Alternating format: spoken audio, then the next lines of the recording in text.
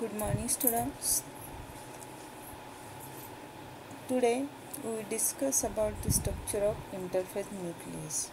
In this interphase nucleus, there are four parts: nuclear envelope, chromatin network, nucleolus, and nucleopause. In last video, uh, I talked about the nuclear envelope. Today we see the remaining part. this is the structure of nuclear core.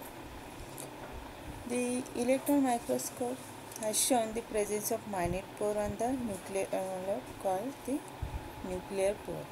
जो first figure में हमने देखा कि जो outer membrane और inner membrane है these are not the continuous in they give some interrupted at the interrupted point there is the nuclear pore is present the dimension uh, the diameter of this, this nuclear pore is about 600 to 1000 angstrom unit then the number of nuclear pore in envelope is not definite number नहीं है the number is ranges from the 200 to three thousand पर nucleus एक nucleus के ऊपर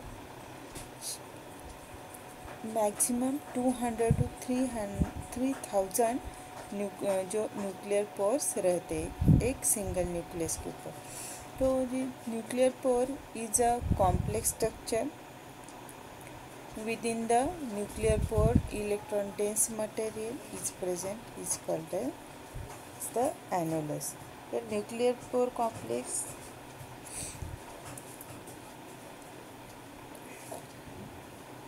जो nuclear pore है it is nothing but the एक nuclear pore electron dense material है।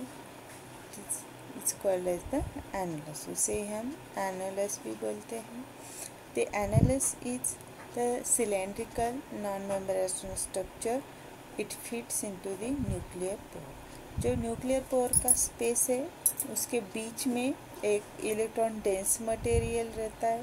जिस सिलेंड्रिकल उसका शेप है और नॉन मेम्ब्रानस स्ट्रक्चर है। The annulus with pore form nuclear pore complex तो एनालिस विथ दिस पोर जो पूरा जो यूनिट रहेगा, उसे हम बोलेंगे nuclear pore complex in first figure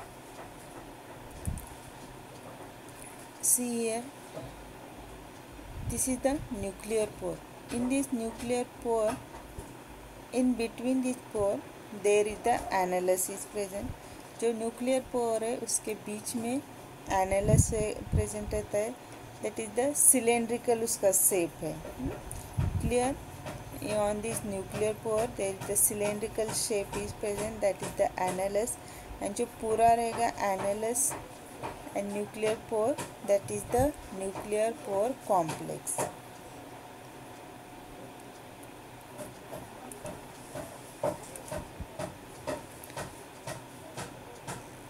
See in this figure there is the outer membrane, inner membrane. In this between there is the nuclear pore complex is present. In this um, pore there is the cylindrical shape annulus is present. This is the annulus this annulus is present on this whole which is called as the nuclear pore complex then let's move towards the structure. The outer and inner annulus consist distinct subunit called as annular granules. The each annular granule is 100 to 250 angstrom unit then at the center of pore one side there is the peripheral granule on the either side peripheral granule the cuff are present which support to the granules then at the center of pore on either side there the central granule is present the space between the uh, annular granules and peripheral is filled with the packing material see in this uh,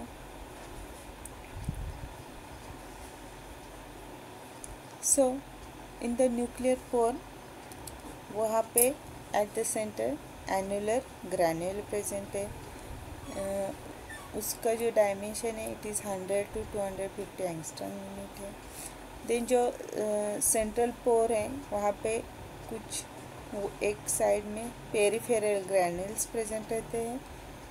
And this peripheral granules form the cuff एक compact structure वहाँ पे form होता है और उस granules को support करते हैं।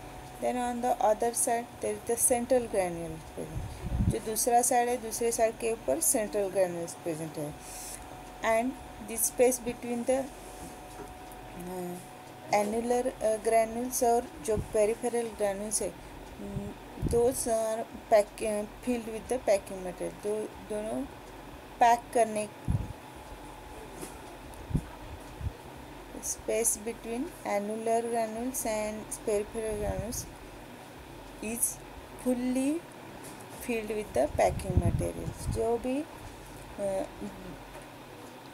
एक तो एनुलर एंड पेरीफेरल गैनुअल्स है जो भी बोथ गैनुअल्स हैं packly filled with the packly materials then the inner pore filament connects the central granules to the annular granules साथ में वहाँ पे कुछ इनर पोर फिलामेंट्स भी कनेक्ट रहते हैं।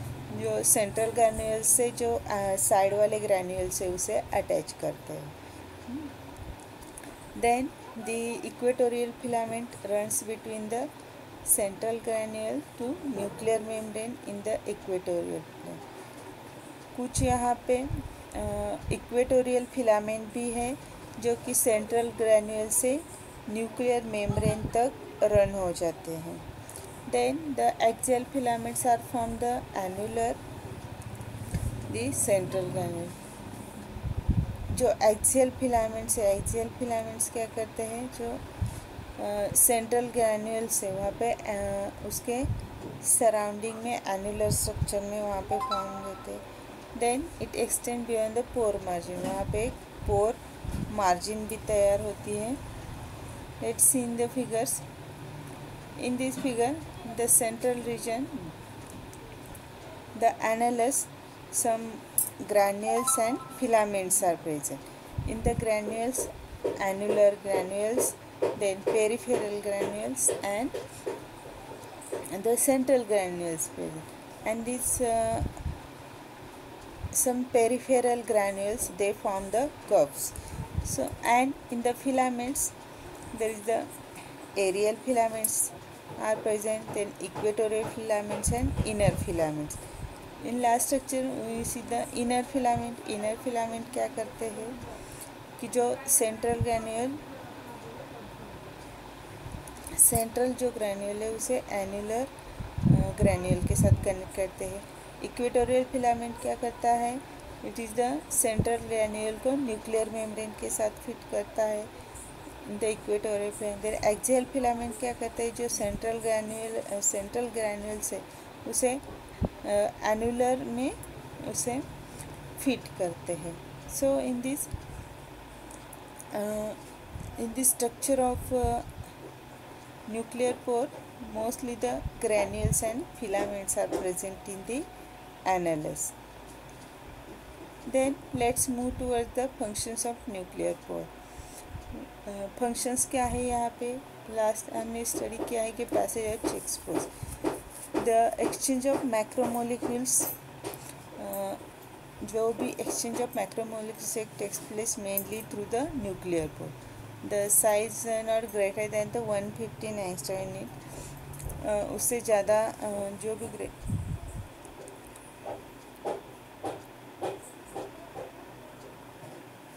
जो वन फिफ्टी एंगस्ट्रॉन इंटर उसके साइज़ की जो भी पार्टिकल्स हैं, वही खाली जो न्यूक्लियर पोर है, वहाँ से ट्रांसपोर्ट हो जाते हैं। Then the selective Parme next function is the selective permeability the annulus with within the nuclear pore function as a special device the annulus contracts and expands according to the size of nuclear pore changes to the uh, uh, contraction and expand uh, expands of the the annulus the material will be exchanged or it changes in the physiological status of the cell physiology active cells the nuclear pore size is large and vice versa the size of pore changes selection of material it is selective permeability जैसे भी material के availability रहेगी, उसके हिसाब से उसकी जो nucleus है न्यूक्लियस की साइज़ रहती है। जब यदि जो कुछ मटेरियल एक्सपांड हो जाएगा न्यूक्लिय जो आउटर सेल से साइटोप्लाज्म में जाएगा न्यूक्लियोप्लाज्म का मटेरियल साइटोप्लाज्म में जाएगा तो जो ऑटोमेटिकली जो न्यूक्लियस की साइज़ है, वो स्मॉल हो जाएगी। यदि कुछ material at the time of cell division वगैरह, जो भी जो न्यूक्लियर मटेरियल है, वो बढ़ जाता है और at the time of division तो उस टाइम पे क्या होगा, जो सेल साइज़ है, वो बढ़ जाएगी. तो the size of nuclear that is smaller और larger it depend on this permeability और जो कॉन्ट्रैक्शन और एक्सपांडेशन ऑफ़ एनोलस जो उसके ऊपर, उसके हिसाब से जो साइज़ है वो डिपेंड रहती है। Then third function is the DNA synthesis of some scientist suggest that the process of D N A synthesis initiates from the nuclear pore so these are important function of the nuclear pore first one the passage और it is the check post then it is selective permeability that is the annulus contracts and expand and the last one is the DNA synthesis then the next part in the interphase nucleus is, is the nucleoplasm it is the same figure हम यहाँ पे भी जो interphase nucleus की जो figure है वही आप यहाँ पे ड्रॉ कर सकते हैं जो जो अंदर जो semi-fluid like structure as these are seen in this figure. In this figure, in this all the liquid material in this nucleus that is the nucleoplasm.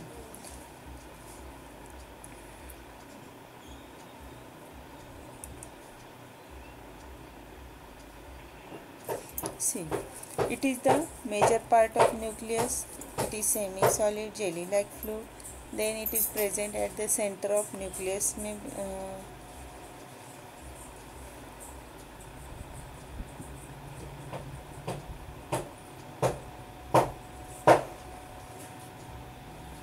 then nucleoplasm is darker than the cytoplasm the nucleoplasm is differentiated or delimited by cytoplasm by means of nuclear envelope जो nucleus है एक तो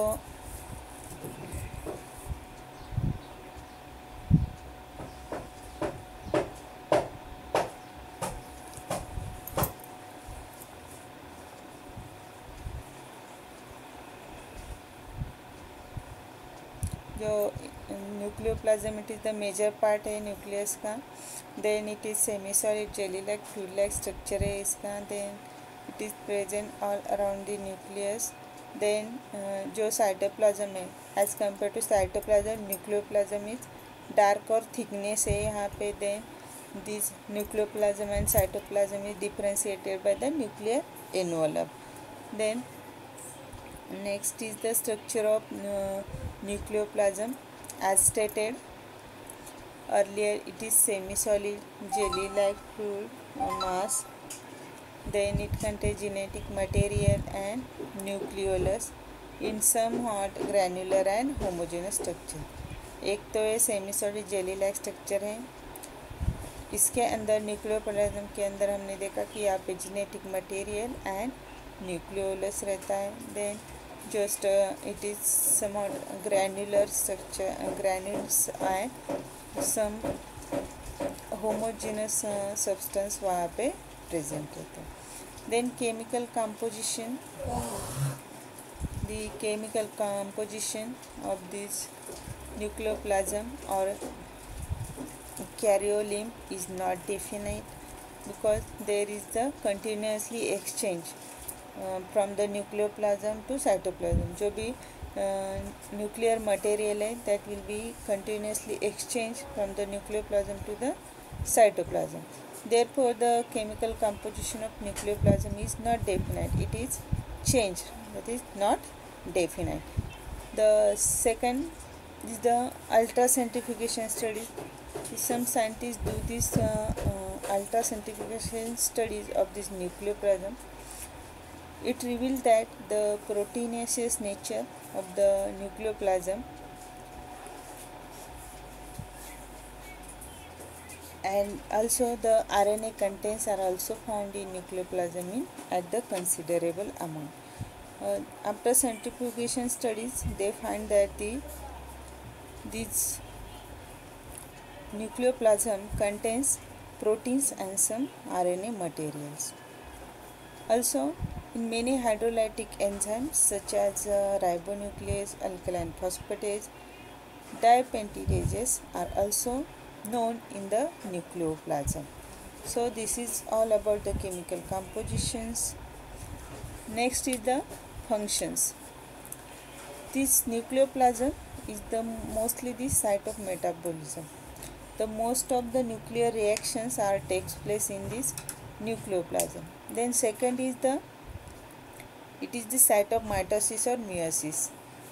Uh, in uh, during cell division karyokinesis that means uh, division of nucleus takes place in this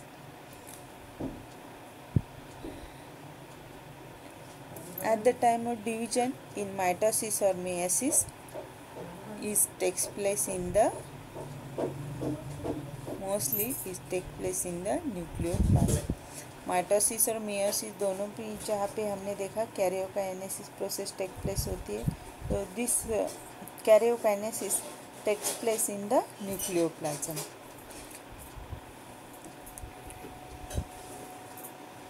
also the genetic reticulum forms chromosomes the chromosome divides it all takes place in nucleoplasm So, जो chromosome dividation, uh, nuclear dividation are uh, also takes place in the nucleoplasm. Then mm, the next function is the stands for genetic material and nucleolus. In this, uh, these nucleoplasms provide stands for the genetic material and nucleolus. कि in the nucleoplasm there is the presence of यहाँ पे genetic material है then nucleolus है so they ultimately provide the it ultimately provide the stand for this parts that is genetic material and nucleolus then it is also the site of D N A synthesis during cell division nucleus division of the genetic material यहाँ पे nuclear division nuclear की division हो जाती है। Uh, the uh, chromosome that uh, chromosome becomes and they becomes the in the mitosis the it is in they form two daughter cells and in meiosis they form four daughter cells. This 2x 4x this in that means the synthesis of dna takes place in the nucleoplasm. Then after the division in the mitosis after the division the parent cells form the two daughter cells and in the meiosis these parent cells form the four daughter cells. Then the sites of RNA synthesis, protein synthesis or ribosome formation in the nucleoplasm supports the nucleolus which undergoes functions of protein RNA synthesis. Thus, indirectly the nucleoplasm that is functions in RNA. So, these are some important functions of the nucleoplasm. First, it is sites of metabolism, sites of mitosis, meiosis. It also stands for uh, genetic material, nucleolus, and also it is the sites of DNA synthesis, RNA synthesis, or protein synthesis, or ribosome formation, etc. So, this is all about the nucleus. Lastly, we summarize this. In first, uh, we I talk about the nuclear pore. So nuclear pore is the presence of minute pore in the nuclear envelope. इसका diameter 600 to one one thousand angstrom unit रहता है जो पर a one nucleus के ऊपर one nucleus के ऊपर two hundred to three thousand nuclear pores present रहते हैं। In the nuclear pore the nuclear pore that mean the complex structure in this complex structure electron dense material is present and that is called the annulus is annulus is the cylindrical structure है and non membranous structure then this this annulus from the nuclear core complex वहाँ पर तैयार हो जाता है। In this figure at the nuclear core there is the cylindrical shape annulus is present on this contract contraction then there is the moment of उसका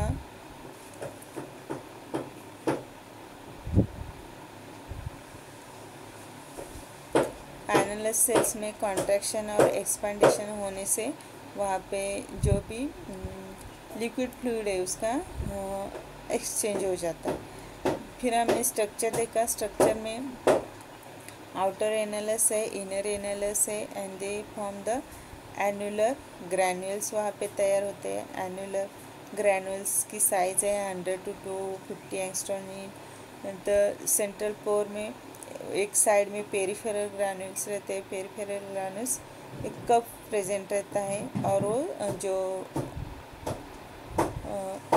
जो बाकी granules को सपोर्ट करते हैं। देन सेंट्रल ग्रैन दूसरे साइड को central granules present है। Then जो दोनों annular granules and peripheral granules है वो पैक्ड पैक्ड पैक्ड कंडीशन में हमें filled with the packed condition में हमें मिलेंगे। देन इनर पोर फिलामेंट्स है, जो फिलामेंट्स है वो, जो ग्रैन्यूल्स और जो न्यूक्लियर मेम्ब्रेन है, उसे कनेक्ट करने का काम करते उसमें इनर पोर फिलामेंट भी है, जो सेंट्रल ग्रैन्यूल एन्यूलर ग्रैन्यूल्स को कनेक्ट करते जो इक्वेटोरियल फिलामेंट है इक्वेटोरियल फिलामेंट सेंट्रल ग्रैन्यूल और न्यूक्लियर मेम्ब्रेन को कनेक्ट करते हैं। देन जो एक्सियल फिलामेंट है फिलामेंट सेंट्रल ग्रैन्यूल्स को कनेक्ट करते तो इस तरह जो फिलामेंट्स है फिलामेंट्स हो जो ग्रैन्यूल्स को और जो न्यूक्लियर मेम्ब्रेन है, उसे कनेक्ट करने का काम करते हैं। And they form the pore margin वहाँ पे उसके हिसाब से तैयार हो जाते हैं। ग्रैन्यूल्स और फिलामेंट्स कंबाइन होके वहाँ पे मार्जिन्स और एक बॉर्डर्स वहाँ पे तैयार करते हैं। उसके बाद हमने फ़ंक्शंस देखे। This is the structure structure में हमें यहाँ पे ग्रैन्यूल्स और कुछ फिलामेंट्स दिख रहे हैं। The main functions of granules है कि it is work as a checkpoint का काम करता है। Then exchange of in this nuclear pro exchange of micromolecules हो जाते हैं देन सिलेक्टिव परमेबिलिटी है सिलेक्टिव परमेबिलिटी से जो न्यूक्लियर मटेरियल है न्यूक्लियर मटेरियल और जो साइटोप्लाज्मिक मटेरियल है, उसमें एक्सचेंज हो जाता है और उसके जो भी फिजियोलॉजिकल स्टेटस है सेल का, उसके हिसाब से वो एक्सपांड और कॉन्ट्रैक्ट होके उसे, उस सेल को एडजस्ट करते हैं। देन डीएनए सिंथेसिस भी कुछ साइंटिस्ट है they also suggest the the DNA synthesis initiation it is also starts in the nuclear pore. So this is the functions. Then next हमने देखा कि न्यूक्लियोप्लाज्म न्यूक्लियोप्लाज्म को भी हम कैरियोलिम भी बोलते हैं। यहाँ पे हम न्यूक्लियस की फिगर तो न्यूक्लियस की जो भी फिगर है, वो वही हम यहाँ पे फॉलो कर सकते हैं। जो मेजर पार्ट है न्यूक्लियस का मेजर पार्ट हमने देखा कि न्यूक्लियोप्लाज्म ही है। In the is semi solid jelly like fluid है। न्यूक्लियोप्लाज्म में at the center nucleolus present रहता है। Then this nucleoplasms cytoplasm as compare to cytoplasm it is the dense material cytoplasm से कंपैरिजन में nucleoplasm is the dense material then This nucleoplasm in and cytoplasm both are differentiated by the um, nuclear envelope.